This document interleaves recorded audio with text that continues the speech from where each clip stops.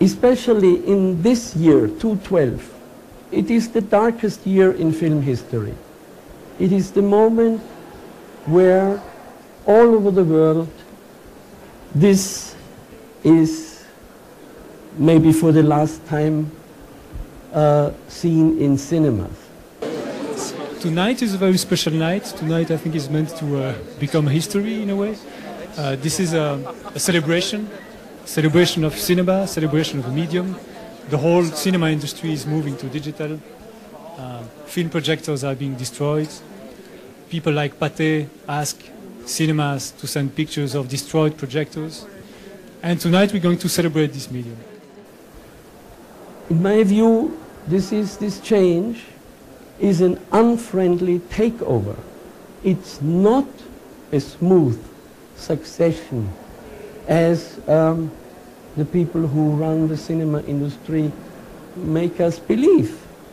These are two different media. And uh, the digital medium is wonderful, but it will go very soon in a different direction.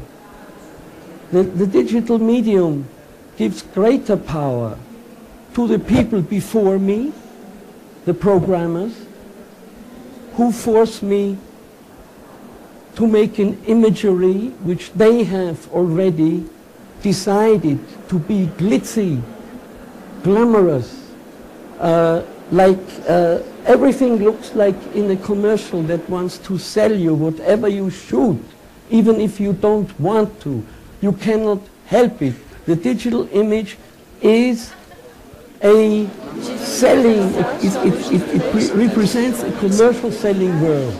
It's not a picture, it's films, it's the strips hanging on the wall. I mean, I have done this since I made first my film Arnulf Rainer in 1960, which is the base for tonight's uh, uh, work, because I want people to feel the material, to, to understand that film is not something ephemeral, existing only, I don't know where, in the air, but what the filmmaker does in the cinema is shape time dimension, the images. We see it frame by frame and sound by, we hear it sound by sound.